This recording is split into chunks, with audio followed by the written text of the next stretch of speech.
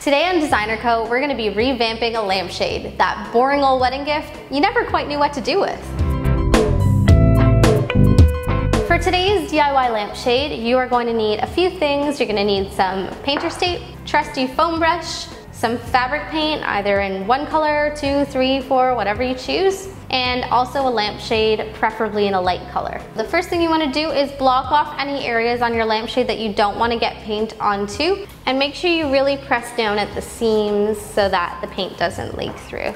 So I'm actually gonna work right out of the pot of paint. If you're doing multiple colors, you probably want something, um, a little jar of water to rinse your brush off in between colors. But I'm just gonna dab a little bit of red onto my brush. Paint really carefully so it doesn't go off that groove. All right, so once you've finished painting your entire lampshade, what you wanna do is let it dry completely, then carefully peel off your painter's tape. So when it's all complete and you've pulled off all the tape, you have this awesome new lampshade to add a little bit of spice to your bedside table.